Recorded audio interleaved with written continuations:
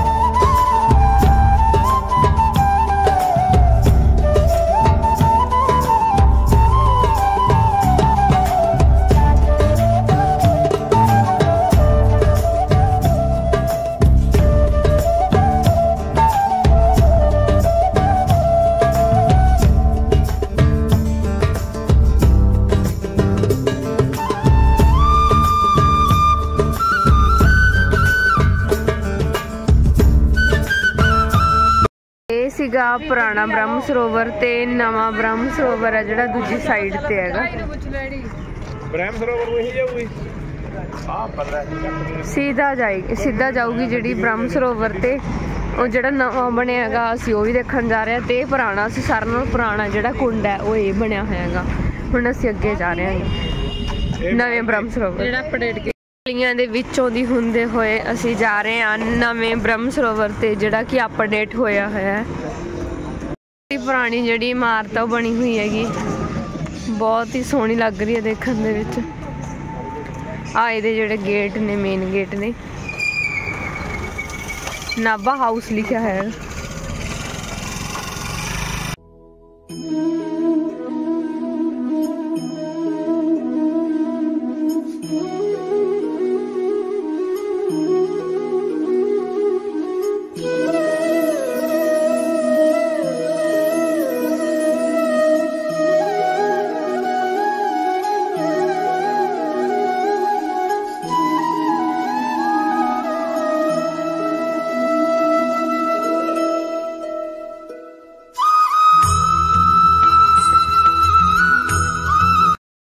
ਬਹੁਤ ਹੀ ਸੋਹਣਾ ਬਣਿਆ ਹੈਗਾ ਜਿਹੜੇ ਦਰਵਾਜ਼ੇ ਨੇਗੇ ਉਹਨਾਂ ਦੇ ਉੱਤੇ ਕੀਲਦਾਰ ਜਿਹੜੀ ਕੀਲਾਂ ਬਣਾਈਆਂ ਹੋਈਆਂ ਨੇ ਉਹ ਤਾਂ ਬਣਾਈਆਂ ਨੇ ਕਿਉਂਕਿ ਪੁਰਾਣੇ ਜ਼ਮਾਨੇ ਦੇ ਵਿੱਚ ਐਵੇਂ ਸੀਗਾ ਕਿ ਇਹ ਉਸ ਤਰ੍ਹਾਂ ਦੇ ਤਰੀਕੇ ਨਾਲ ਬਣਾਈਆਂ ਨੇ ਕਿ ਜੇ ਕੋਈ ਹਾਥੀ ਵੀ ਜਾਂ ਕੋਈ ਵੀ ਜਾਨਵਰ ਗੇਟ ਨੂੰ ਤੋੜਦਾ ਹੈ, ਤਾਂ ਉਹ ਤੋੜ ਨਹੀਂ ਸੀ ਸਕਦਾ ਕਿੱਲ ਦੇ ਡਰ ਦੇ ਕਾਰਨ। ਸਿੱਧਾ ਪਹਿਲਾਂ ਮੂੰਹ ਤੇ ਲੱਗਦੀਆਂ ਸੀ ਉਹ ਹਮ, ਬਹੁਤ ਹੀ ਸੋਹਣਾ ਜਿਹੜਾ ਸਟਰਕਚਰ ਹੈ ਉਹ ਕਿੰਨਾ ਸੋਹਣਾ ਬਣਾਇਆ ਹੈ। ਇੱਟਾਂ ਦੇਖੋ ਕਿੰਨੀਆਂ ਪੁਰਾਣੀਆਂ ਬਣੀਆਂ ਹੋਈਆਂ ਨੇ ਤੇ ਗੇਟ ਹਾਏ ਕਿੰਨੇ ਸੋਹਣੇ ਬਣੇ ਹੋਏ ਨੇ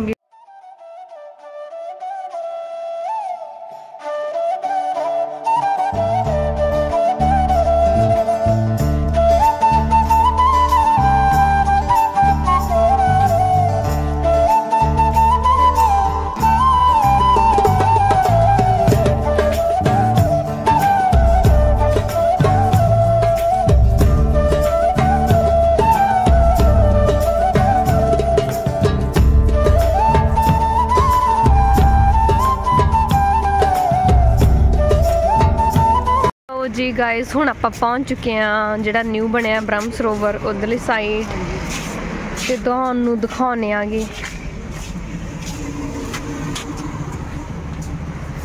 ਆ ਇਹਦਾ ਮੇਨ ਗੇਟ ਹੈ ਜੀ। ਤੇ ਆ ਮੇਨ ਐਂਟਰੈਂਸ ਹੈ ਜੀ। ਸਵੇਰ ਦੇ ਟਾਈਮ ਤੇ ਲੋਕ ਘੱਟ ਹੀ ਹੁੰਦੇ ਨੇਗੇ। ਬਹੁਤ ਹੀ ਸੋਹਣਾ, ਦੂਰ ਦੂਰ ਤੱਕ ਪਾਣੀ ਪਾਣੀ। ਸਰੋਵਰ ਹੀ ਸਰੋਵਰ। ਕਿੰਨਾ ਵੱਡਾ ਬਣਿਆ ਹੈ। ਪਾਪਾ ਜੀ, ਕਿਵੇਂ ਦਾ ਲੱਗ ਰਿਹਾ ਠੰਡ ਲੱਗ ਰਹੀ ਹੈ। ਦੂਰ ਦੂਰ ਤੱਕ ਸਰੋਵਰ ਹੈ ਸਰੋਵਰ। ਹੁਣ ਉੱਪਰ ਜਾ ਕੇ ਤੁਹਾਨੂੰ ਵਿਊ ਦਿਖਾਉਣੇ ਆਂਗੇ। ਦਿਖਾਓ ਚਲੋ ਕਮਲ। ਕੋਸ਼ਲਿਆ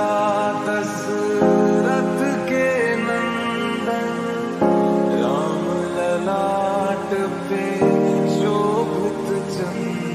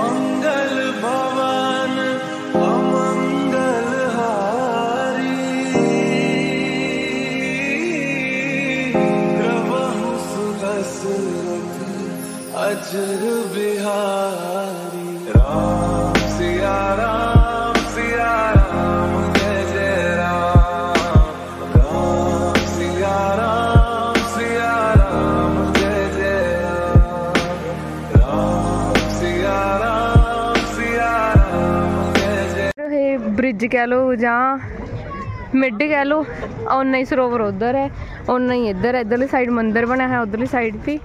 ਤੇ ਇਹ ਉਰੇ ਵਿਚਾਲੋ ਦੀ ਸੜਕ ਕੱਢੀ ਹੋਈ ਹੈਗੀ। ਬ੍ਰਿਜ ਹੀ ਸਮਝ ਸਕਦੇ ਆ ਇਹਨੂੰ।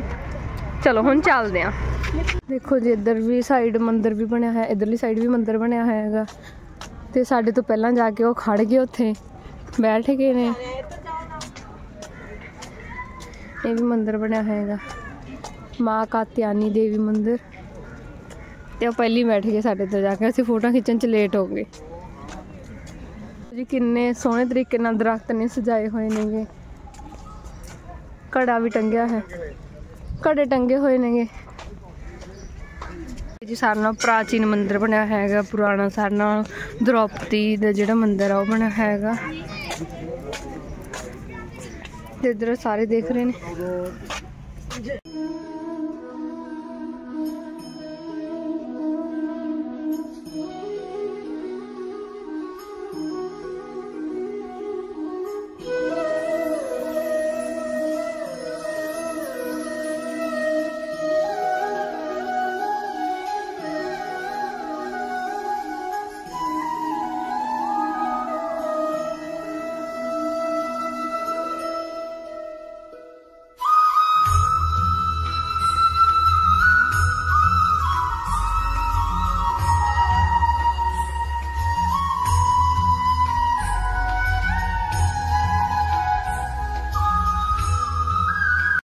ਦੇਖੋ ਜੀ ਕਿੰਨਾ ਸੋਹਣਾ ਬਣਾਇਆ ਹੋਇਆ ਹੈਗਾ ਸ਼੍ਰੀ ਕ੍ਰਿਸ਼ਨ ਜੀ ਦਾ ਰਥ। ਨਾਲ ਅਰਜੁਨ।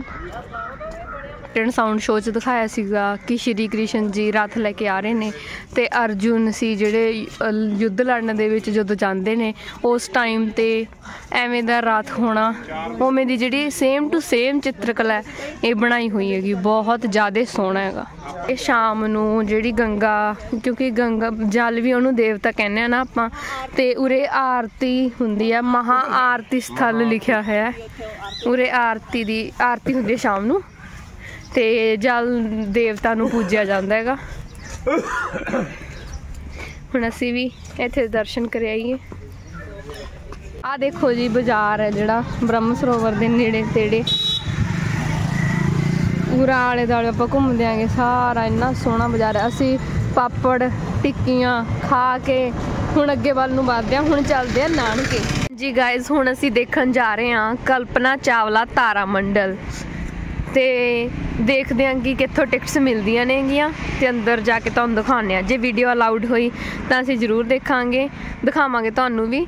ਤੇ ਜੇ ਨਾ ਵੀਡੀਓ ਅਲਾਉਡ ਹੋਈ ਦੈਨ ਫਿਰ ਅਸੀਂ ਆਪ ਦੇਖਾਂਗੇ ਤੇ ਆਪਣਾ ਐਕਸਪੀਰੀਅੰਸ ਸ਼ੇਅਰ ਕਰਾਂਗੇ। ਚਲੋ ਜੀ।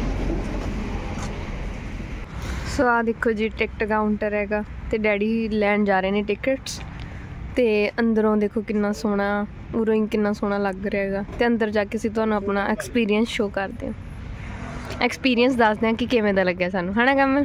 ਹਾਂਜੀ। ਐਕਸਾਈਟਡ ਯੈਸ ਸੋ ਹਾਂਜੀ ਗਾਇਜ਼ ਅਸੀਂ ਕਲਪਨਾ ਚਾਵਲਾ ਜਿਹੜਾ ਤਾਰਾ ਮੰਡਲ ਹੈ ਉਹ ਅਸੀਂ ਦੇਖ ਕੇ ਹੁਣ ਆ ਗਏ ਆ ਤੇ ਉੱਥੇ ਵੀਡੀਓ ਅਲਾਉਡ ਨਹੀਂ ਸੀਗੀ ਇਸ ਕਰਕੇ ਅਸੀਂ ਵੀਡੀਓ ਅੰਦਰੋਂ ਸ਼ੂਟ ਨਹੀਂ ਕੀਤੀ ਕਿਉਂਕਿ ਆਪਾਂ ਰੂਲਸ ਦੇ ਖਿਲਾਫ ਨਹੀਂ ਨਾ ਜਾ ਸਕਦੇ।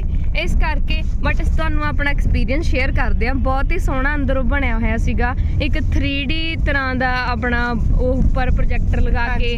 ਦਿਖਾਇਆ ਗਿਆ ਸੀਗਾ ਰਾਕੇਟਸ ਵਗੈਰਾ। ਲੱਗਦਾ ਤੁਸੀਂ ਰੀਅਲ ਦੇ ਵਿੱਚ ਸਪੇਸ ਦੇ ਵਿੱਚ ਹਾਂਜੀ ਹਾਂ। ਬਹੁਤ ਜ਼ਿਆਦਾ ਸੁੰਦਰ ਬਣਾਇਆ ਹੋਇਆ ਸੀਗਾ ਤੇ ਜਿਹੜੇ ਬੱਚੇ ਸਾਇੰਸ ਨੂੰ ਪਿਆਰ ਕਰਦੇ ਨੇ ਰਿਲੇਟ ਕਰਦੇ ਨੇ ਜਾਂ ਸਾਇੰਸ ਬਾਰੇ ਜਾਣਨਾ ਚਾਹੁੰਦੇ ਨੇ, ਇਹ ਆਪਣੀ ਸਾਇੰਸ ਨਾਲ ਰਿਲੇਟਡ ਚੀਜ਼ ਸੀਗੀ ਤੇ ਬਹੁਤ ਸੋਹਣੀ ਬਣੀ ਹੋਈ ਸੀ ਤੇ ਸਾਰਿਆਂ ਨੂੰ ਵਿਜ਼ਿਟ ਜ਼ਰੂਰ ਕਰਨਾ ਚਾਹੀਦਾ ਇੱਕ ਨਦੀ ਵਾਰ ਤਾਂ। ਤੇ ਨਾਲ ਹੀ ਜੀ ਬਾਹਰ ਨਿਕਲਦੇ ਸਾਰੇ ਗੈਲਰੀ ਸੀ, ਉੱਥੇ ਆਲੇ ਦੁਆਲੇ ਤੇ ਪਿੱਛੇ ਐਸਟ੍ਰੋ ਪਾਰਕ ਵੀ ਸੀ, ਬਹੁਤ ਸੋਹਣਾ ਬਣਿਆ ਹੋਇਆ ਸੀ। ਗੈਲਰੀ ਦੇ ਵਿੱਚ ਇੱਕ ਕੁਇਜ਼ ਕੰਪੀਟੀਸ਼ਨ ਵੀ ਸੀਗਾ। ਉੱਥੇ ਮਤਲਬ ਡਿਫਰੈਂਟ ਪਲੈਨਟਸ ਦੇ ਜਿੰਨੇ ਆਪਣੇ ਪਲੈਨਟਸ ਨੇ, ਨੀਚੇ ਵੇਇੰਗ ਮਸ਼ੀਨ ਸੀ, ਆਪਾਂ ਆਪਣਾ ਵੇਟ ਕਰ ਸਕਦੇ ਆ ਵੀ ਕਿਹੜੇ ਪਲੈਨਟ ਸਾਡਾ ਕਿੰਨਾ ਵਜਨ ਹੈਗਾ। ਬਹੁਤ ਡਿਫਰੈਂਟ ਡਿਫਰੈਂਟ ਤਰੀਕਾਂ ਦੀਆਂ ਜਿਹੜੀ ਚੀਜ਼ਾਂ ਸੀਗੀਆਂ ਦੇਖਣ ਵਾਲੀਆਂ ਸੀ, ਬਹੁਤ ਹੀ ਸੋਹਣਾ ਸੀ ਬਿਊਟੀਫੁਲ ਸੀ। ਹਰ ਇੱਕ ਬੱਚੇ ਨੂੰ ਉਰੇ ਆਉਣਾ ਚਾਹੀਦਾ, ਜ਼ਰੂਰ ਆਉਣਾ ਚਾਹੀਦਾ। ਮੇਰੇ ਤਨ ਮਨ ਧੜਕਨ ਮੇ ਸਿਆ ਮਨ ਮੰਦਰ